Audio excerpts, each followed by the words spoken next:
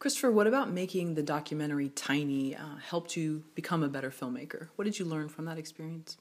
Wow, so much. Uh, Tiny was definitely for me a boot camp and really in uh, filmmaking, but also particularly making documentaries.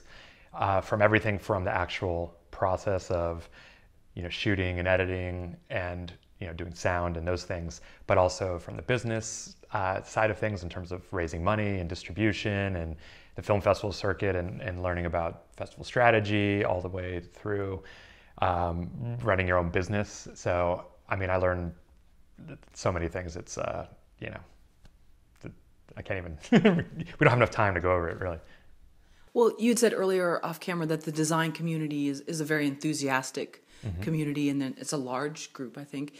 Um, did you think that they would take to the film as they did? I mean, it's one of our most watched videos from when we interviewed you. So did you think that they would just be so taken by it?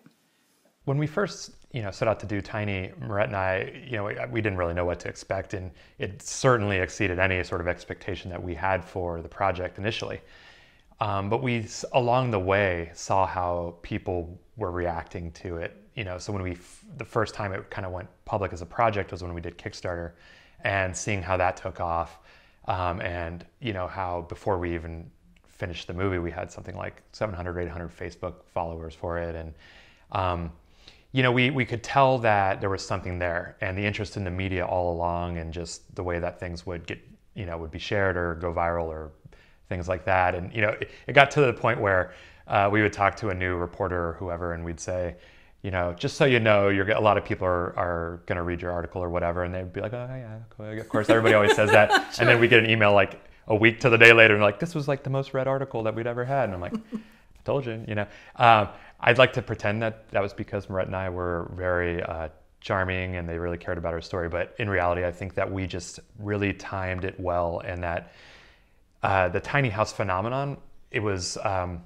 basically as if you know there was just a whole bunch of dried hay and somebody lit a match and and uh, we just happened to really time it perfectly and uh, that and the interest in that kind of design in particular and simple living was at just the, the right place.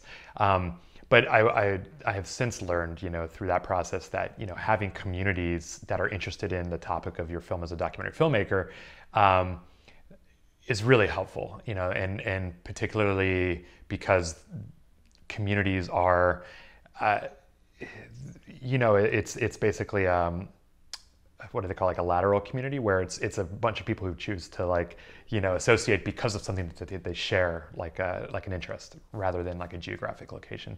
And those communities can really like propel, propel your projects forward right and i know jay Shafer had been around for a long time with tumbleweed mm-hmm. i think that's his yeah name. although he he now has his own company called four lights tiny house company oh okay yeah uh, so then, from what you learned in terms of looking back, what would you not repeat in terms of maybe a planning perspective, um, technical, um, e- even getting it into film festivals? What were some things that you plan to do differently with? I know you have many projects you want to be involved in. So, what did it teach you in that sense?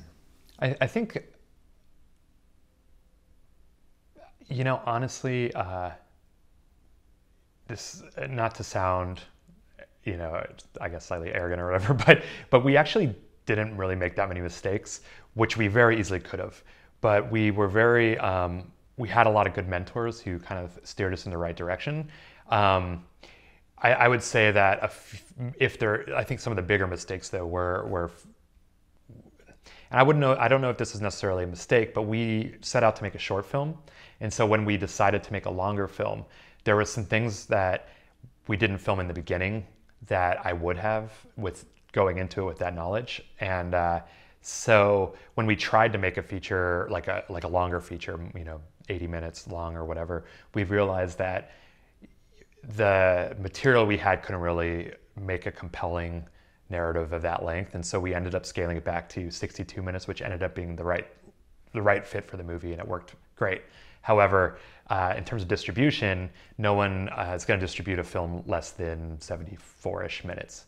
So it really automatically ruled out any sort of all rights deals that we might have had with um, some of the you know bigger doc distributors who initially were interested but ultimately didn't do it because they couldn't do a theatrical release.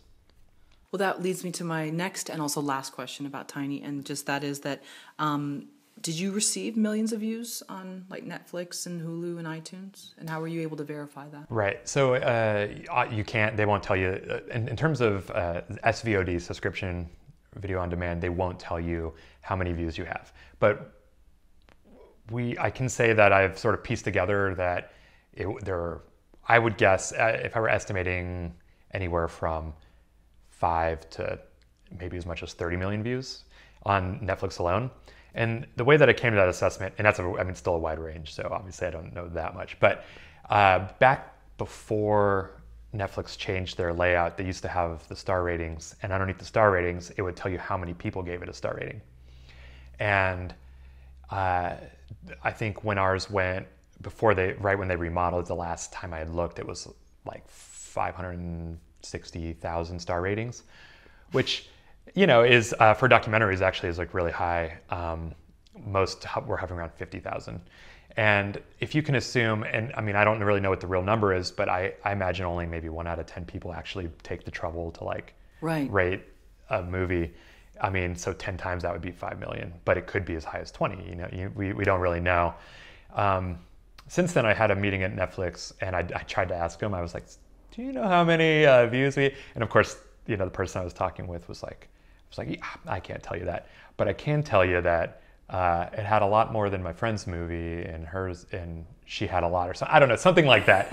and I was like, okay, so that's as close as I'm going to get to an answer. But it it, it was a lot, and um, I mean, even like one time we actually found a pirated copy of Tiny on on YouTube, and it had something like seventy thousand views. And oh wow! I was like, well, if the pirated YouTube version has seventy thousand, then uh, we can assume that the non-pirated version, you know, had more. So uh, I think it's still on Hulu, and um, I I had a friend who worked at Hulu who also said that it was doing pretty well, but I don't know, and it didn't come out on Hulu until like two years or maybe like a year and a half after it was on Netflix. So I don't really know what the numbers are, but I assume that all if you included all of the views everywhere, it would probably be in the tens of millions.